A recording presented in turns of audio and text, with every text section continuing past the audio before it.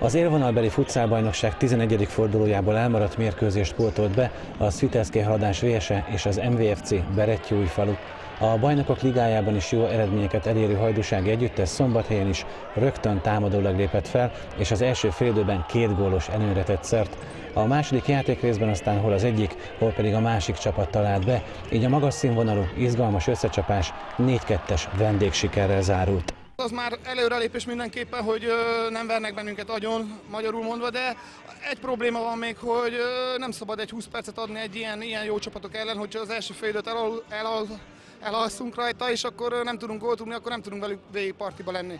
A második fél az rendben volt. A szombathelyi Gárda szinte az egész mérkőzés alatt egyenrangú ellenfele volt a bajnoki címvédő falu csapatának.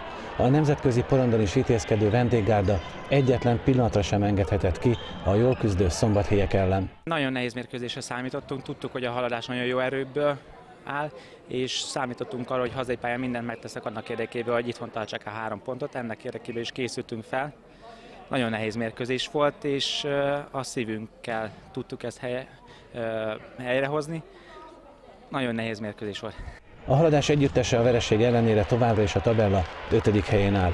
A zöldfehérek legközelebb december 15-én hétfőn a 8. pozíciót elfoglaló Csömör otthonában lépnek pályára bajnoki mérkőzésen.